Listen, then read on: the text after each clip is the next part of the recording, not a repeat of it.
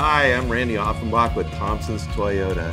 I moved up to the Gold Country four years ago with my wife of 28 years, Elaine. We bought some property up here uh, to bring our horses and be with them full time. So when I'm not working at Thompson's, I love to horseback ride and be with my Labradors and work on my ranch. The reason I came to Thompson Toyota is because it's a family-owned operation with wonderful people to work with. I love the product, I love coming to work, and I love having a stress-free, no-pressure situation for my clients. If you want to have a great time, come see Randy at Thompson's Toyota. I'm the guy in the hat.